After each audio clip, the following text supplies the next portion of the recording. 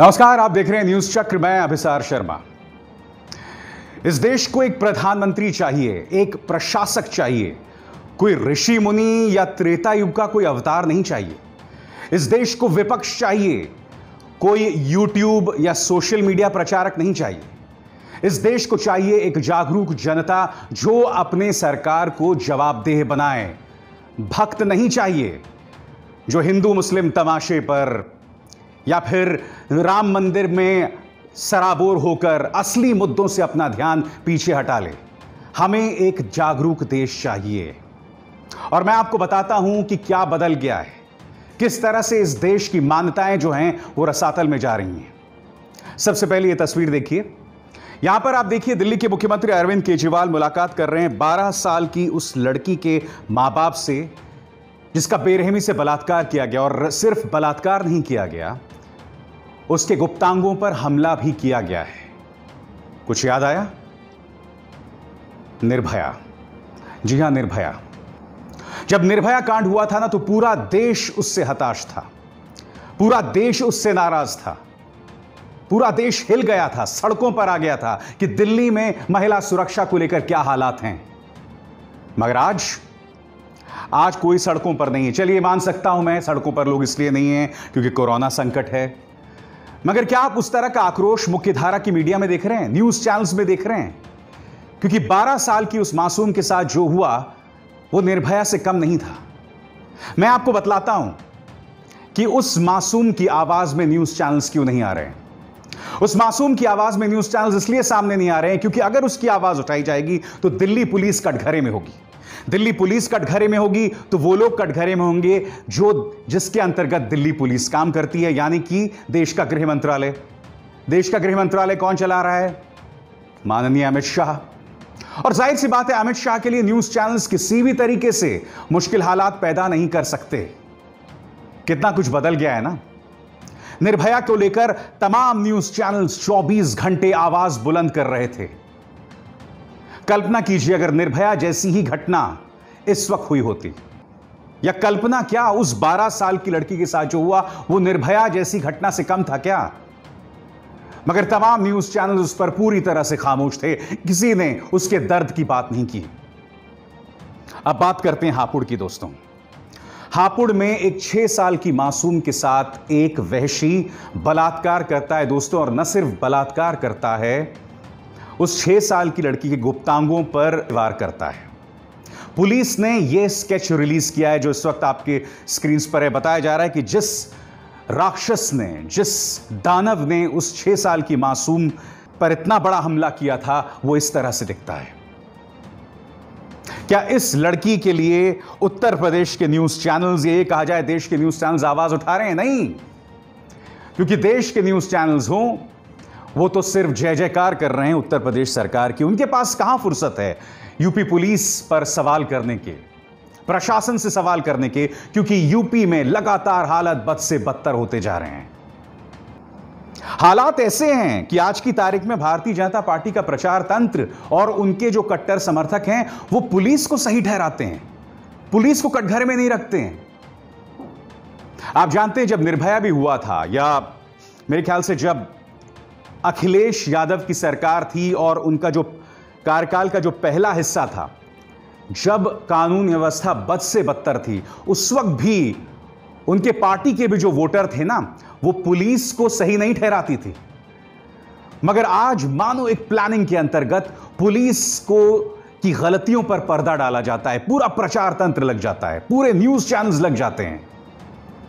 और मैं जानता हूँ, मैं जो आपके सामने बातें रख रहा हूँ उस छह साल की मासूम या उस बारह साल की मासूम के बारे में कई लोग कहेंगे कि भाई, पुलिस हर तरफ़ तो नहीं हो सकती, सरकार हर तरफ़ तो नहीं हो सकती। बिल्कुल, वो हर जगह मौजूद नहीं हो सकती है, मगर आपको किसने रोका है उन्हें कटघरे में रखने से, उनसे सवाल करने से, उन्हें जवाबदेह बनाने से। उन मासूम के साथ जो हुआ कुछ देर के लिए मान लूँ कि प्रशासन की गलती नहीं है। हालाँकि आप जानते हैं कि उत्तर प्रदेश में हालात किस तरह से बद से बदतर होते जा रहे हैं। मगर यह चेहरा? यह है यूपी की जालौन की निशु। इसने आत्महत्या कर दी। जानते हैं क्या घटना हुई है? यह अपनी दो सहेलियों के साथ एक मोबाइल फ़ोन शॉप पर जाती है। खबर अमर उजाला की है, जो मैं आपके सामने कोट कर रहा हूँ। ये लोग मोबाइल शॉप पर जाते हैं। वहाँ खड़े कुछ लड़के इनकी तस्वीरें खींचने लगते हैं। ये लोग मना करती हैं। अचानक वहाँ पुलिस की जीप आ जाती है और इन लड़कियों को पुलिस थाने ले जाती है। आठ से दस घंटे तक इन्हें जेल में रखती है। पानी मांगते हैं, पानी नहीं देते हैं। अमर उजाला में जो ये रिपोर्ट आई है, उसकी सहेलियाँ ये बात कह रही हैं। और जब रात को 10 बजे इन्हें छोड़ा जाता है, तब यह कहा जाता है कि दो दिन बाद हम फिर आएँगे आपसे पूछताछ करने। निशु से यह बेइज्जती बर्दाश्त नहीं होती और वो खुद को फांसी लगा देती है। मैं ये पूछना चाहता हूँ, जैसा कि अमर उजाला की खबर में उसकी सहेलियाँ दावा कर रही हैं, जो लड़के इन्हें छेड़ रहे थे, उन पर क्या कार्रवाई बताइए। कुछ देर के लिए मैं मान भी लूँ, लड़कियाँ लगातार यह कह रही थी, उन पर यह आरोप था कि इन्होंने मोबाइल फोन्स की चोरी की थी कुछ दिनों पहले। तो लड़कियाँ लगातार ये कह रही थी, अगर हमने चोरी की थी तो क्या हम दोबारा उस दुकान में आते? कुछ देर के लिए मैं मान भी लूँ कि अगर यह मोबाइल चोर भी थी तो क्या कट्टर अपराधी और एक सामान्य व्यक्ति में किस तरह का बर्ताव हो यह उत्तर प्रदेश पुलिस बिल्कुल नहीं जानती। और क्या यह सवाल बतौर नागरिक आपको उठाना नहीं चाहिए? बताइए। क्यों नहीं उठाते आप? क्या निशु की मौत इसी तरह से जाया जाएगी? या हापुड़ में छह साल की उस लड़की जिसके साथ बलात्कार हुआ था, वो घटना इसी तरह से खत्म हो जाएगी, इसी तरह से आप अपनी आँखों के सामने से जाते हुए देखेंगे?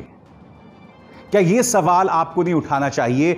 बतौर इस समाज के रहने वाले एक वोटर होने के नाते, एक नागरिक होने के नाते आपको इस सवाल नहीं उठाने चाहिए?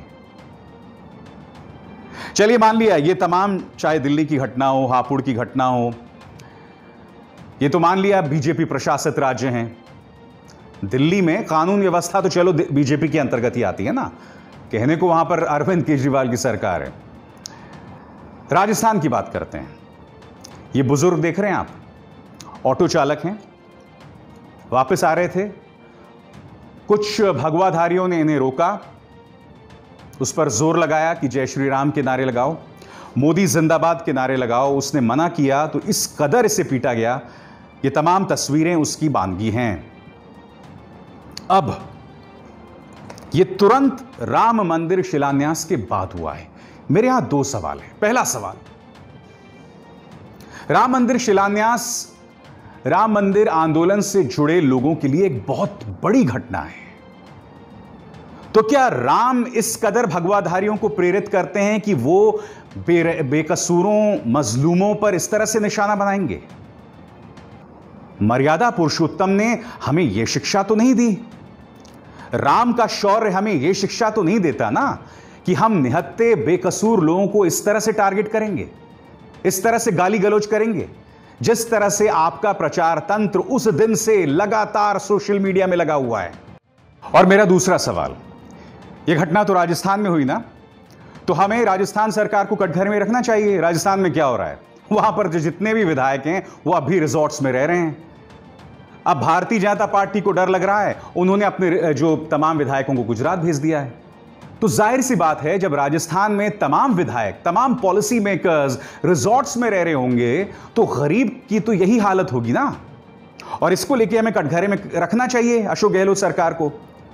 मगर कोई न्यूज़ चैनल उनसे सवाल नहीं कर रहा है। क्यों? क्योंकि जैसे इस घटना के ऊपर आप अशोक गहलोत को कटघरे में रखेंगे तो ज़ाहिर सी बात है, भगवाधारी भी कटघरे में आ जाएँगे। और भगवाधारी कटघरे में आ जाएँगे तो बीजेपी भी कटघरे में आ जाएगी। इसलिए न्यूज़ चैनल्स ने इस घटना पर भी कोई ज़ोर नहीं दिया है। सामने आपके ढेरों समस्याएँ हैं। चीन अब भी हमारी ज़मीन पर बना हुआ है। खुद रक्षा मंत्रालय इस बात को स्वीकार कर रहा है कि उन्होंने प्रवेश किया था। बावजूद इसके कि प्रधानमंत्री ने हमें आश्वासन दिया था, ना चीन आया है हमारी ज़मीन पर, ना उन्होंने कोई कब्जा किया है। देश के सामने इतनी बड़ी गलत बयानी। आप कल्पना कर सकते हैं, चीन हमारी ज़मीन पर है। लोग इस्तीफा दे देते हैं इस मुद्दे पर। मगर क्या रक्षा मंत्री, क्या विदेश मंत्री, क्या गृह मंत्री, क्या खुद प्रधानमंत्री कटघरे में हैं इस मुद्दे को लेकर? क्या मुख्यधारा का मीडिया इस मुद्दे को लेकर उनसे सवाल कर रहा है, नहीं कर रहा है? नौकरियाँ चली जाती हैं इस मुद्दे पर, मगर ऐसा बिल्कुल नहीं हो रहा है। हमारा ध्यान किस तरफ़ है? हमारा ध्यान है सुशांत सिंह राजपूत घटनाक्रम पर। मैं स्पष्ट कर दूँ, इस पर इंसाफ मिलना चाहिए। मुझे यह बात भी समझ नहीं आ रही कि महाराष्ट्र सरकार सीबीआई जाँच से क्यों बच रही है अगर उसके पास कुछ छुपाने को नहीं है, मगर मगर जिस तरह से मुख्यधारा का मीडिया, जिस तरह से कुछ खास ताकतें, शालीनता की तमाम हदों को पार कर रहे हैं, वो अपने आप में शर्मनाक है। इन न्यूज़ चैनल्स ने दावा किया था, जैसे कि आप अपने स्क्रीन पर देख सकते हैं, कि सुशांत सिंह की जो सेक्रेटरी थी दिशा सालियान, जब उनकी लाश मिली थी तो उनकी लाश पर एक भी कपड़ा नहीं था। पोस्टमार्टम रिपोर्ट का हवाला दिया गया था। मगर अब यह खबर देखिए इस खबर को पुलिस ने सरासर गलत बताया है। कुछ देर के लिए मैं मान भी लूँ कि वो खबर सही थी। तो क्या उस परिवार के नाते, दिशा के परिवार के नाते हमें इस तरह की बातों को सार्वजनिक करना चाहिए? क्या मृत इंसान की कोई गरिमा नहीं है? इन तमाम चीज़ों को लोग भूल गए हैं। अगर तुम लोग वाकई सुशांत सिंह राजपूत के लिए संघर्ष कर रहे होते ना तो बात समझ आती। मगर सही मायनों में तुम लोग पिट्ठू हो। उस पॉलिटिकल पार्टी के हाथों जो चाहती कि किसी ना किसी तरीके से महाराष्ट्र सरकार गिर जाए। यह सिर्फ़ एक सियासी खेल है, उसके अलावा कुछ नहीं। मुद्दे जो होने चाहिए उस पर कोई बात नहीं हो रही है। ना अर्थव्यवस्था पर बात हो रही है, ना कोरोना पे बात हो रही है, ना चीन पर बात हो रही है। उल्टा इंडिया टुडे ये सर्वे लेकर आता है, जिसमें कहा जाता है कि चाहे कोरोना संकट हो, चाहे अर्थव्यवस्था हो, चाहे चीन हो, प्रधानमंत्री का काम ज़बरदस्त रहा है। उनकी लोकप्रियता छियासठ फ़ीसदी से भी ज़्यादा है। मान लिया। बिल्कुल मान लिया। मगर मैं इन न्यूज़ चैनल से पूछना चाहता हूँ यह रिपोर्ट करने से पहले, क्या आपको थोड़ी सी भी शर्म आई थी? पिछले तेरह सालों से, इंडिया टुडे का जो मैगजीन है, मेल टुडे वो तेरह साल बाद, यानी 2020 में आकर बंद हो गया है, आर्थिक मंदी के चलते। और इन्होंने क्या चलाया था कि प्रधानमंत्री, पूर्व प्रधानमंत्री मनमोहन सिंह से बेहतर देश की अर्थव्यवस्था को संभाल रहे हैं प्रधानमंत्री मोदी। तो यह पोल चलाने से पहले क्या आपके जहन में यह बात आई थी कि न सिर्फ़ आपका मेल टुडे बंद हो गया है, बल्कि बल्कि आपके अपने कई न्यूज़ चैनल्स बंद हो गए हैं या बंद होने की कगार पे हैं? और हो क्या रहा है? कटघरे में खड़ा किया जा रहा है इस शख्स को, राहुल गांधी को। वो शख्स जो फरवरी के महीने से इस सरकार को चेतावनी दे रहा है कोरोना के मुद्दे पर और चीन के मुद्दे पर, लगातार कंसिस्टेंटली मैं एक बात बता दूँ आपको। राहुल गांधी को कटघरे में रखा जाना चाहिए। उन पर सवाल उठा उठाए जाने चाहिए कि क्या राहुल गांधी एक फुल टाइम पॉलिटिशियन है? क्या राहुल गांधी एक गैर संजीदा राजनेता है? मगर उन कारणों से नहीं, जिन कारणों से न्यूज़ चैनल्स उन्हें कटघरे में रखते हैं। नहीं न्यूज़ चैनल्स इस सरकार को जवाबदेह नहीं बनाते हैं। सबसे पहला कर्तव्य होता है न्यूज़ चैनल्स को इस सरकार को जवाबदेह बनाना। उनसे सवाल करना। आज आप जो न्यूज़ चैनल्स में काम कर रहे हैं संपादक, वो खुद से एक सवाल पूछें कि क्या आपने कोरोना को लेकर, चीन को लेकर, देश की अर्थव्यवस्था को लेकर, कश्मीर में जहाँ हालात बद से बदतर हो गए हैं, इन चार मुद्दों को लेकर इस सरकार को कटघरे में खड़ा किया? आपके स्वास्थ्य मंत्री यह कहते हैं कि कोरोना से हम लड़ाई जीत गए हैं। कोरोना में हालात बेहतर हो रहे हैं। मगर आज की तारीख में कई पैमानों पर भारत दुनिया में नंबर एक है। और पैमाने, जब मैं कह रहा हूँ तो पॉजिटिव नहीं, नकारात्मक पैमाने। यानी कि हालात यहाँ बद से बदतर हो रहे हैं। कोरोना के लेकर ही हम अगर बात करें तो क्या आप जानते हैं कि इस वक्त हमने तमाम रिकॉर्ड तोड़ दिए हैं? एक दिन में मृतकों की तादाद जो है वो एक हज़ार से ज़्यादा हो गई है। एक हज़ार के मायने जानते हैं आप क्या होता है? 26 ग्यारह में जो हमला हुए थे, हमला हुआ था उसमें 166 भारतीय मारे गए थे और यहाँ कोरोना से एक दिन में एक हज़ार लोग मारे गए हैं। और इस चीज़ को लेकर क्या यह सरकार जवाबदेह नहीं है? क्या यह सवाल आपके लिए, इस देश की नागरिक के लिए बिल्कुल भी नहीं ज़रूरी? तो सवाल यह कि क्या आप ये सवाल उठाते हैं? नहीं उठाते हैं। तो ऐसे में क्या विपक्ष से सवाल करने का आपको अधिकार है? बिल्कुल नहीं है। आप क्या करते हैं मैं आपको बताता हूँ। जिस दिन शिलान्यास हुआ, एक न्यूज़ चैनल यह कह रहा था कि जिस तरह से त्रेता युग में भगवान राम पुष्पक विमान में सवार होकर अयोध्या पहुँचे, बिल्कुल उसी तरह से यह हेलीकॉप्टर जो आप आसमान में देख रहे हैं, वो अयोध्या में उतर रहा है। और इस हेलीकॉप्टर में कौन थे? प्रधानमंत्री नरेंद्र मोदी। जब मैंने प्रधानमंत्री को देखा ना तो मैं हथप्रभ रह गया भौचक्का रह गया। मैंने उनकी वेशभूषा देखी, बहुत ही शालीनता से परिपूर्ण। मैंने उनकी दाढ़ी देखी, मानो एक संत लग रहे हो वो, एक ऋषि मुनि लग रहे हो। और इस चीज़ से पूरी तरह से भाव विभोर थे तमाम न्यूज़ चैनल्स। मगर एक बात मैं स्पष्ट कर दूँ, इस देश को एक ऋषि मुनि की ज़रूरत नहीं है। एक प्रचारक की ज़रूरत नहीं है, एक प्रशासक की ज़रूरत है। इस देश को ज़रूरत है एक ऐसे शख्स की जिसे जवाबदेह बनाया जा सके देश की समस्याओं के लिए। उसे हम खुदा ना बनाएँ, अपने सिर पे ना बिठाएँ। उन्हें ईश्वर का दर्जा ना दें, क्योंकि आप ही के वोट से वो बने हैं प्रधानमंत्री। ये पार्टी सत्ता में आई है। देश को चाहिए जवाबदेह सरकार और जिम्मेदार विपक्ष जो कि अपने सरकार को कटघरे में रखे। हमें सोशल मीडिया प्रचारक यूट्यूब प्रचारक नहीं चाहिए विपक्ष की नेता के तौर पर। या हमें ऋषि मुनि नहीं चाहिए जो इस देश की सरकार चलाए। नहीं। सीधे तौर पर इस देश के जो प्रधानमंत्री हैं, वो इन मुद्दों पर जवाब दें। कोरोना को लेकर हालात बद से बदतर क्यों हैं? आप दूसरा, आपने वादा किया था कि धारा 370 हटाए जाने के बाद कश्मीर देश की मुख्य धारा में शरीक हो जाएगा।